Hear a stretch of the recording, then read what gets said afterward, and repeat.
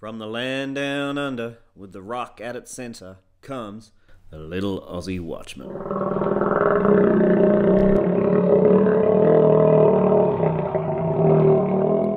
Unpardonable. Never ending grace. There isn't a hole too deep or a mountain too high that God's grace can't get to.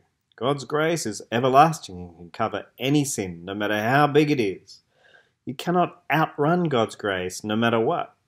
This is common Christian dogma, preached high and low across the Western world. Today I want to examine the claim of God's everlasting and eternal grace, and to try and marry it with some pretty controversial scriptures scattered throughout the New Testament. From 1 John 5 If you see any brother or sister commit a sin that does not lead to death, you should pray and God will give them life. I refer to those whose sin does not lead to death. There is a sin, however, that leads to death. I am not saying that you should pray about that. All wrongdoing is sin, and there is a sin that does not lead to death. John is saying that there is a sin that leads to death, of which there is no point praying for. Really? Have you ever heard a preacher mention such a thing? A sin for which no grace can atone for? Just grasp that for a second. Have you ever heard that in church or by a minister of the gospel? That there is a sin you should not pray about? What about this clangor from Hebrews 6?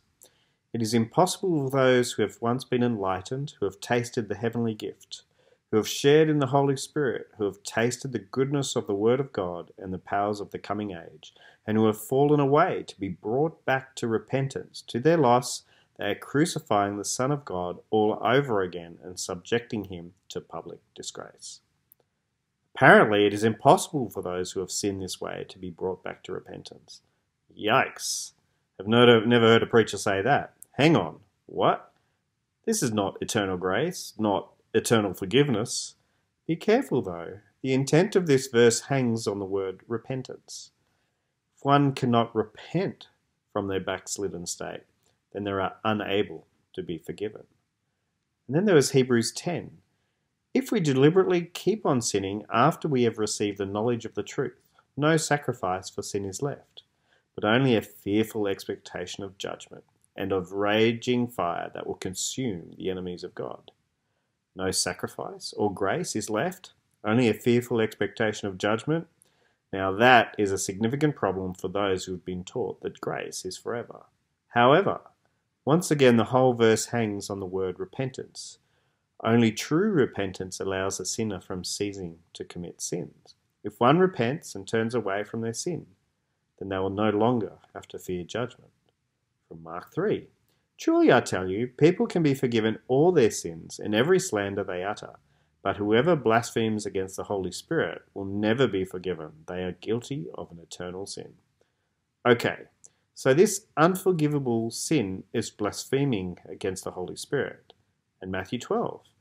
Anyone who speaks a word against the Son of Man, it will be forgiven him. But whoever speaks against the Holy Spirit, it will not be forgiven him, either in this age or the age to come. So, how do we marry those verses warning of the unforgivable or unpardonable sin with the claims that all sin can be forgiven? It is simple. The unpardonable sin is that sin which a person hardens their heart against the promptings of the Holy Spirit to ask for forgiveness and show repentance.